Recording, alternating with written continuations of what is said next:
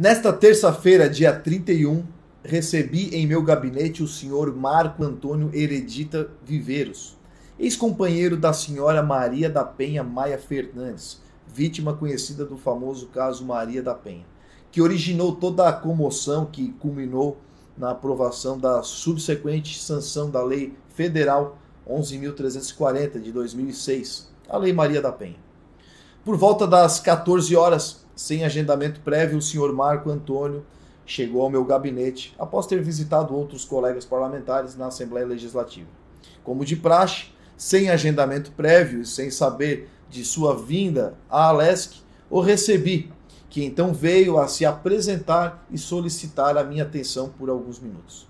Ouvi juntamente com alguns assessores o que o senhor Marco tinha a nos dizer, recebi um exemplar do seu livro e, a pedido, registrei o, momento publicando nas redes sociais mais tarde, como faço com todos aqueles que visitam o meu gabinete, a fim de cumprir com os ideais de transparência que norteiam a minha atuação na Assembleia Legislativa.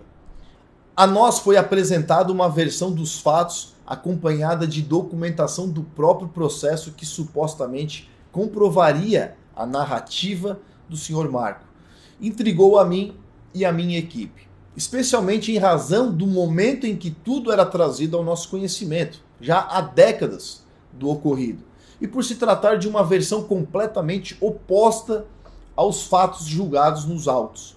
Entretanto, deixo claro que ouvir a versão do Sr. Marco não significa que corroboro com a fala apresentada, tampouco que me compadeço das consequências que o atingiram após o trâmite regular das ações judiciais envolvendo o caso visto que o processo tramitou regularmente com direito à ampla defesa e contraditório, e ainda assim resultou na sua condenação.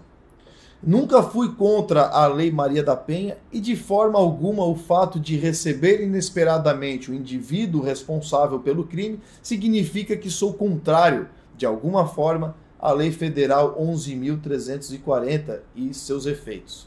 Permaneço firme e alinhado às minhas convicções e estou com a consciência tranquila. Aqueles que alegam que estou ridicularizando o combate à violência contra a mulher, convido a conhecer minha atuação no parlamento catarinense e as proposições que tenho tramitando na casa no sentido de defesa de mulheres e crianças. E esclareço, por fim, que as insinuações e ameaças direcionadas a mim e à minha família serão direcionadas ao Poder Judiciário para que sejam tomadas as medidas cabíveis.